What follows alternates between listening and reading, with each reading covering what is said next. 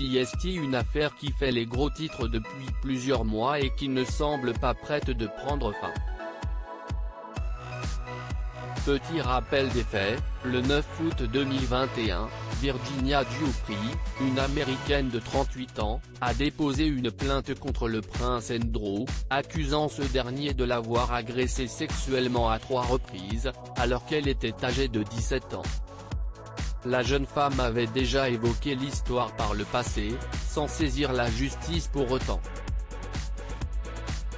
De son côté, le prince Andrew, déjà bien embourbé dans son amitié gênante avec Jeffrey Epstein, qui s'est donné la mort en prison, en 2019, s'était contenté de nier les faits, allant jusqu'à affirmer qu'il n'avait jamais rencontré Virginia Giuffre malgré l'existence d'une photo les montrant enlacés, en compagnie de Ghislaine Maxwell, la complice d'Epstein.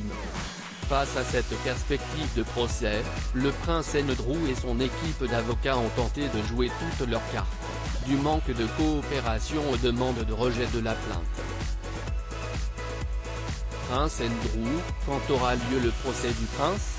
Aux dernières nouvelles, la défense avait tenté de déclarer non valable l'accusation de Madame Giuffre, en raison de l'existence d'un accord entre cette dernière et Jeffrey Epstein, signé en 2009.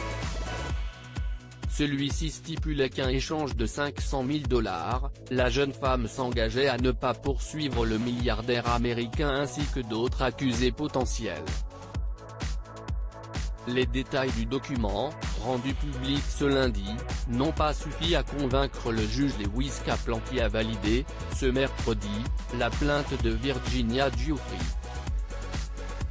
Le prince Andrew ne sera point poursuivi au pénal mais au civil, ce qui signifie que l'issue ne sera pas de sanctionner l'accusé mais d'indemniser la victime, et fait face à un procès qui devrait se tenir entre septembre et décembre 2022, d'après le juge.